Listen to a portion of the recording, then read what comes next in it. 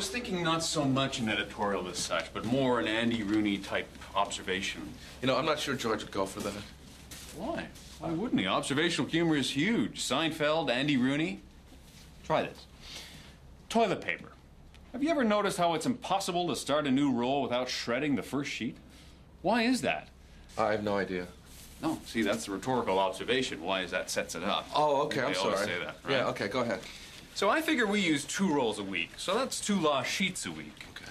At about 300 sheets per roll, after three years, you've lost a whole roll.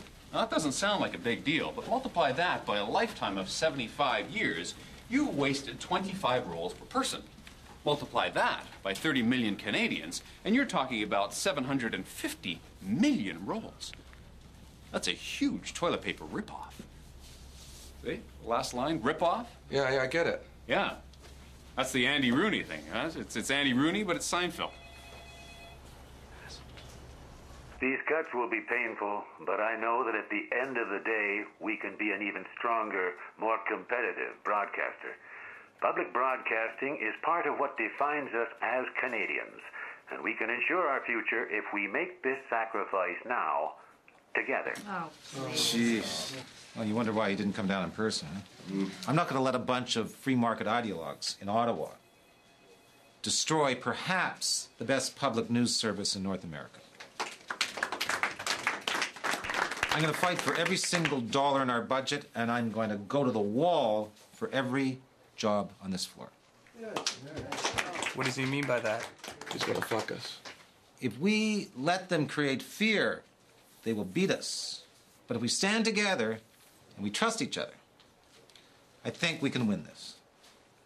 So what you're saying is that, that, that my job is secure. I'm saying we have no plans to cut executive producers.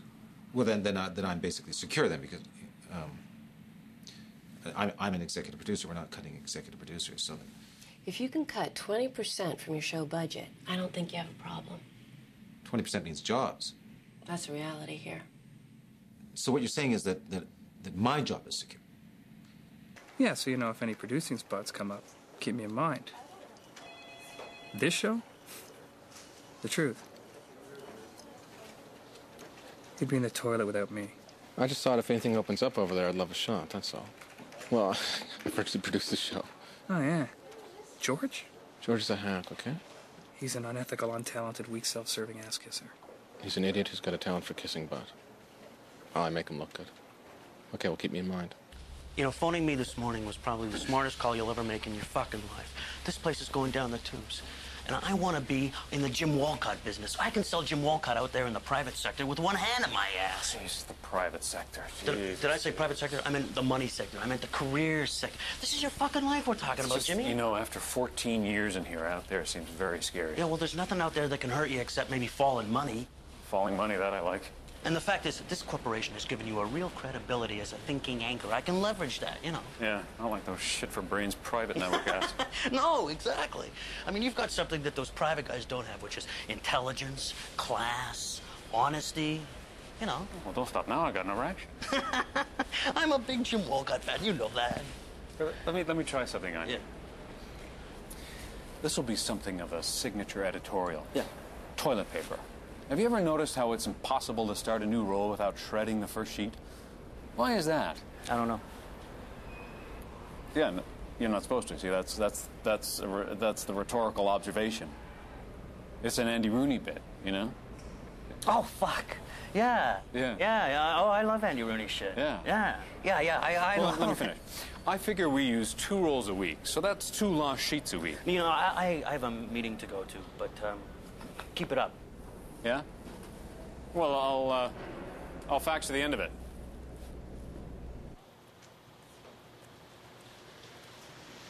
Our camera was across the street in a van.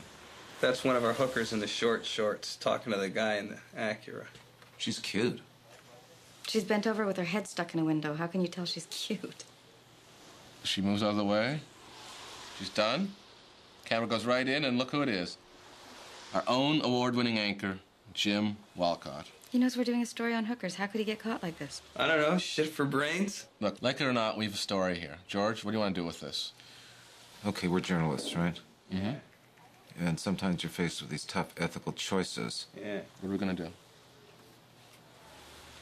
Burn the tape. You can't find it. It was on his desk and now it's gone. Oh, this is great. I- If the budget cuts don't kill us, this will sink us for sure, okay? This is my number one priority. I want this story killed. If this story gets out, we're dead. Listen, these cuts have to be made. That's the reality. Right. Everybody has to share the pain. George, um, BMW on line four? Peter, did Henry bring you up to speed on the wipers? I couldn't see where I was going. It flipped off. Yeah, well, the rain was. Yeah, well, I'm, I, I'm sure that, that, that Hitler could see where he was going when he went into Poland. I'm, s- I'm sorry. Okay, I, that was uh, I apo- that was in bad taste. I'm, I'm sure you were born. Well, listen. I want to know about the warranty. Are the wipers covered by warranty? Well, then talk to your supervisor and call me back. Thank you. God, forty thousand dollar car. Okay, where were we? We were sharing the pain. Who do we cut? You know, this isn't easy for me, and that's why I wanted to talk to you away from the office.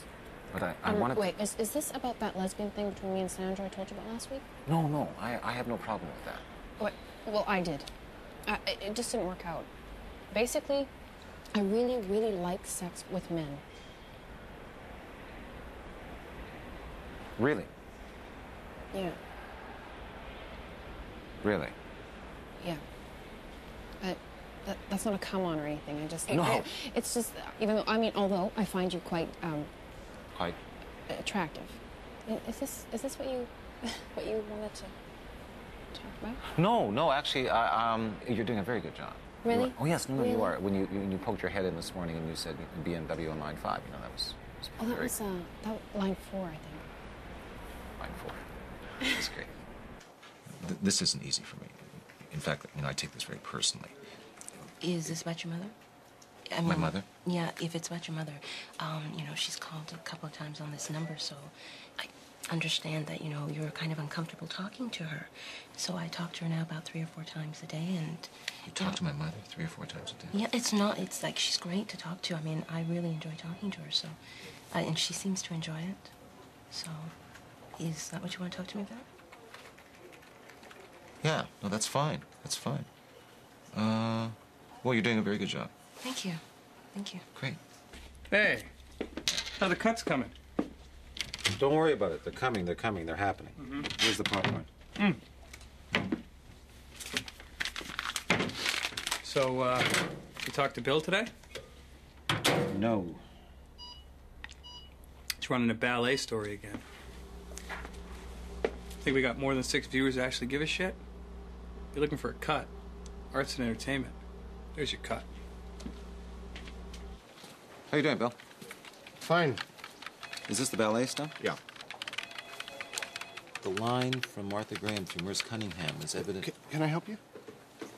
Yeah, no, no. I'm, I'm just, you know, wondering how you're doing, and you know, I love the ballet myself, but I was just, you know, curious, you know, as to, you know, you know, how much of our audience, you know, relates to the dance. If this is about staff cuts, George, I'm a personal friend of the heritage minister, and if it comes down to me or you, it'll be you.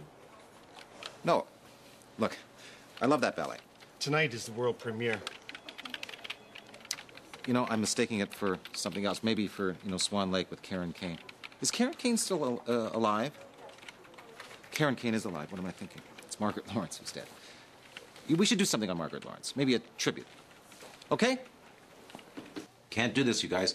I can't look these people in the face and tell them they're fired. I think the reason is because basically deep down, you know, I feel too much. I, I don't think so. Oh, you don't think so? Well, explain it then. You're just one of those passive aggressive guys. Oh, passive aggressive. You know, people use this all the time. This express. I, I have no idea what that means. What, what does that mean?